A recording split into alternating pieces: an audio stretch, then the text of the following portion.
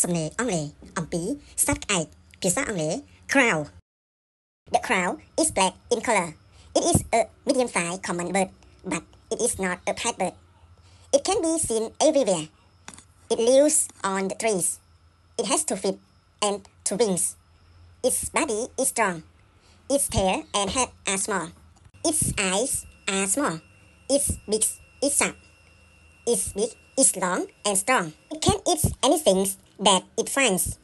Crow eats fruits, grains, insects, and rotten flesh. It also eats many dirty things. It keeps the environment clean. It is quite uh, clever.